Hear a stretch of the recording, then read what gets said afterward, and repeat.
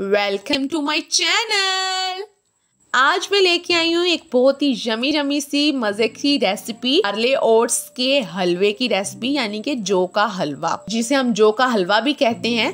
और जी ऐसे लोगों के लिए है जो कि वेट लूज करना चाहते हैं, या फिर ऐसे लोग जिनको हलवा तो बहुत पसंद है, लेकिन आटे का और सूजी का हलवा थोड़ा हैवी होता है तो वो नहीं खा सकते तो उनके लिए मैं जो का लाइट वेट मज़े का और जमी जमी रेसिपी लेके आई हूँ। फ्रेंड्स जो बहुत ही न्यूट्रिशियस फ़ूड है कॉन्स्टिपेशन आपकी दूर करता है, बहुत ही लाइट वेट होता है। अगर आप वेट लूज करना चाहते हैं तो barley is the best thing to lose weight तो without further late let's get started सबसे पहले मैंने बार्ले ओट्स लिए हैं, ये आपको इजीली मार्केट से मिल जाएँगे।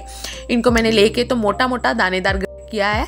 इनको ज़्यादा बारीक ग्राइंड नहीं करना। पीसने के बाद इन अब इनको हल्की सी आँच पे आप इनको फ्राई कर लेंगे भून लेंगे। जब तक हल्का हल्का ब्राउन नहीं हो, हो जाता तब तक हम इसको फ्राई करेंगे। और फ्राई हो गया है। अब हम इसको साइड पे करेंगे और गुड़ की चाशनी बनाएँगे। जो कि हम इसमें चीनी नहीं डाल रहे तो हम इसमें गुड़ डालेंगे। गुड़ एक बहुत ही नेचुरल शुगर होती है जिसमें। और इसमें कोई केमिकल्स वगैरह नहीं होते बल्कि बिल्कुल नेचुरल शुगर है। अगर आप गुड़ नहीं डालना चाहते तो इसकी हनी यूज़ कर लें या स्टीविया यूज़ कर लें। और गुड़ की चाशनी बनाने के लिए इसमें दो गिलास पानी डालेंगे और गुड़ जो हमने ग्राइंड किया हुआ है वो डालेंगे और दो बॉयल आने के बाद हम आप इसको साइड पे कर लेंगे।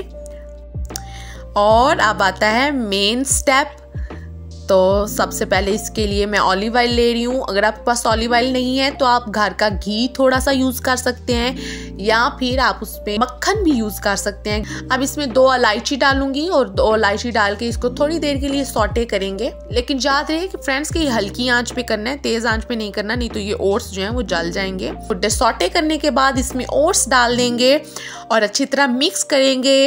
Mix mix mix mix mix चाशनी जो हमने बनाई है, वो इसमें डाल देंगे। और इसको अच्छी तरह मिक्स करेंगे। ये देखें कितना प्यारा कलर आया है। जो तो अभी से ही बहुत जमी जमी लग रहा है।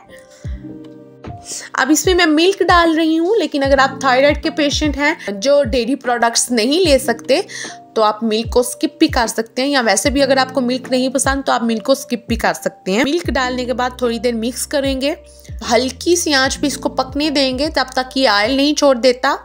और ये देखें जमी जमी सा हलवा बिल्कुल तैयार हो गया। अब इसको हम सर्व करेंगे और ये देखें कितना जमी जमी सा हलवा तैयार है। मैं इसको खजूर से गार्निश कर रही हूँ, लेकिन आप इसमें बादाम भी डाल सकते हैं या पिस्ताशियोस भी डाल सकते हैं।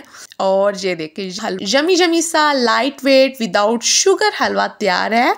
उम्मीद है फ्रेंड्स आपको मेरी ये रेसिपी बहुत पसंद आई होगी। अगर आपको पसंद आई है और आप मज़ीद वेट लॉस के लिए जमी जमी सी रेसिपीज़ देखना चाहते हैं तो like share and subscribe to my channel thank you